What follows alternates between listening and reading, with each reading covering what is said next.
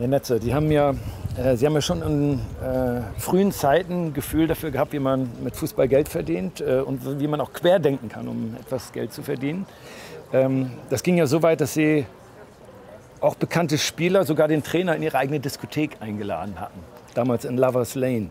Haben Sie immer schon ein Gefühl dafür gehabt, wie man Sport vermarkten muss? Also ich weiß nicht, äh, ob das äh, eine Sportvermarktung war. Hat eigentlich nur dazu gedient, äh, meine leeren Kasten äh, etwas aufzufüllen, weil eben Mönchengladbach als Verein mich nicht bezahlen konnte in dem Maßen, wie Beckenbauer, Müller, Meier hier bezahlt wurden.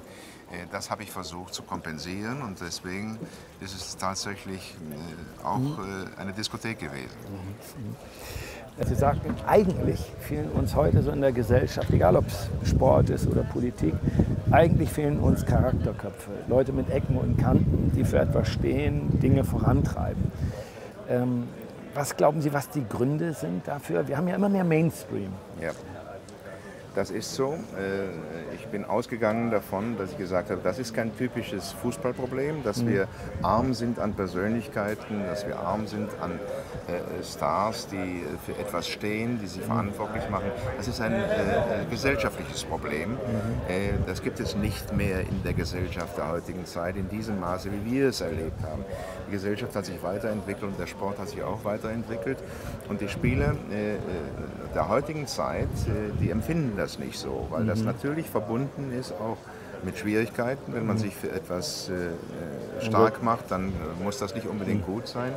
Und äh, das ist äh, gang und gäbe, ein solches Verhalten in der heutigen Zeit. Ich bedauere es ein wenig mhm. und äh, trauere eigentlich den Zeiten nach, wo es diese äh, Leute gab mit Ecken und Kanten, die auch mal Dinge gemacht haben, die mhm. nicht in der Reihe waren. Mhm.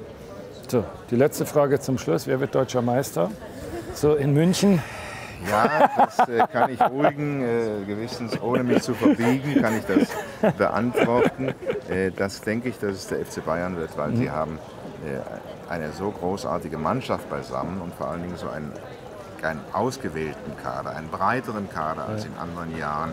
Dazu kommt ein großartiger Trainer, äh, der je länger er hier ist, immer stärker wird, immer stärkeren Einfluss auf die Mannschaft nimmt.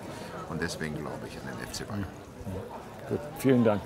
Toll, dass Sie da waren. Hat richtig Spaß gemacht. Mir Wirklich. auch. Super. Haben Sie gesehen. Ja.